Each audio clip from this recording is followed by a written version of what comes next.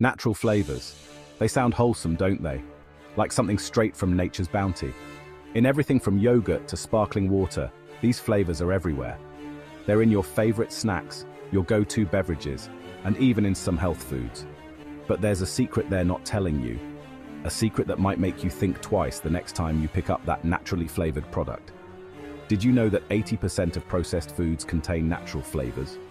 It's a staggering number, isn't it? One simple term, hundreds of possibilities. The term natural flavors can encompass a wide range of ingredients, some of which you might never expect, some might horrify you. Welcome to Flavor HQ, where the creation of these flavors is more complex and less natural than you might think. Here, natural isn't what you think. It's a term that can be stretched to include a variety of sources and processes. Sure, some come from fruits or spices, but others? Well, let's just say the sources can be quite surprising. Let's just say it gets weird. Really weird. For instance, did you know that some natural flavors come from places you'd never imagine? Castoreum, a natural raspberry flavor. Source, beaver anal glands. Yes, really. It's used in some foods and perfumes. Natural and artificial flavors, often chemically identical. The difference lies in their sources and the processes used to create them.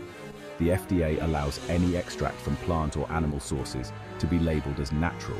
This includes some pretty unexpected ingredients, even if it's processed beyond recognition. The journey from source to flavor can involve a lot of steps. Your natural flavor might be subjected to solvents, extreme heat, or genetic modification. These processes can alter the original ingredient significantly. Plot twist.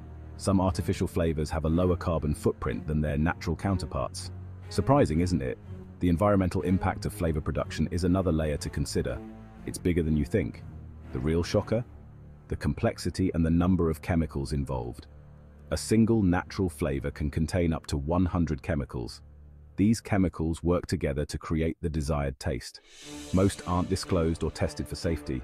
This lack of transparency can be concerning for consumers. The natural versus artificial divide, often just an illusion. The lines are blurred and the distinctions are not as clear-cut as they seem. It's all chemistry in the end. Whether natural or artificial, these flavors are crafted through scientific processes. Your food label will never look the same again. Next time you see natural flavors, you'll know there's more to the story. Like and follow for more mind-blowing food truths. Stay informed and make better choices for your health and the environment.